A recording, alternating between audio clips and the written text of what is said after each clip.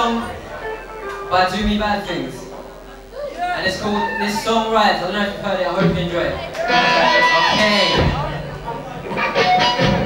Okay. Making sure that for the radio